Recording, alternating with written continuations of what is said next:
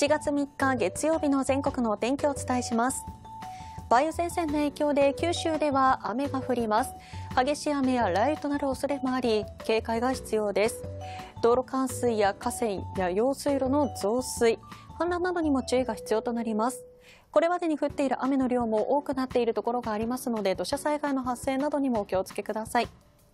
一方、中国、四国から近畿、東日本にかけては日差しが届くところが多く気温が上がります。暑さも厳しくなりますので熱中症対策欠かせません。ただ各地、急な雨にはお気をつけください。北日本では雲が広がりやすく雨の降る可能性がありますので外出時は雨具があると安心です。詳しい情報を天気アプリウェザーニュースでご確認いただけます。ぜひご活用ください。